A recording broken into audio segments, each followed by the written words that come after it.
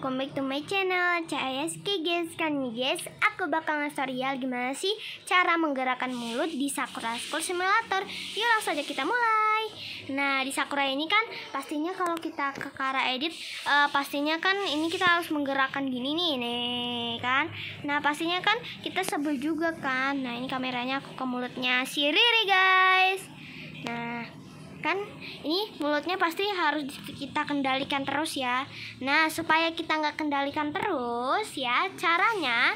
Nah kalian ke atas dan kalian bisa lihat text size 20 ini ada minus plus ada reset sama yang live science gitu live science. Nah ini kan belum ada centang. Kalau kalian pencet pasti ada centang. Nah kalian harus pencet ya.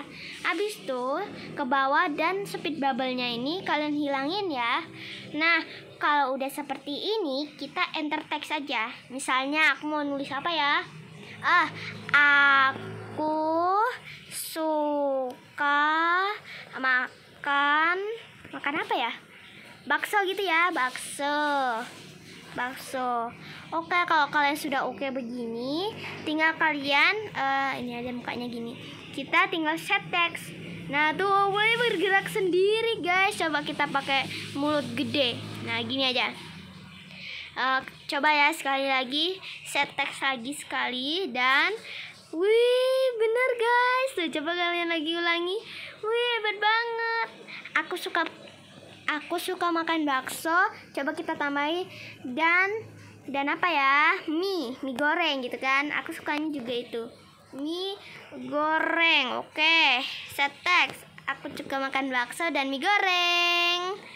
Wih, pas banget ya guys. Tuh, bagus banget. Jadi tinggal kalian pencet live sign ini Terus speed bubble-nya di uh, hilangin Terus kalian tinggal pencet uh, ini Kalian bisa kasih teks apa saja Misalnya uh, Aku misalnya Aku su suka sekali makan uh, telur Atau mungkin aku nggak suka makan sayuran Tapi aku suka kok Aku suka bener suka Nah, kalian bisa coba di rumah, guys. Tuh gampang banget. Apalagi kalau kalian pengen bikin YouTube, uh, kalian Sakura, terus kalian pengen berbicara Sakura Simulator, kalian cepet-cepet.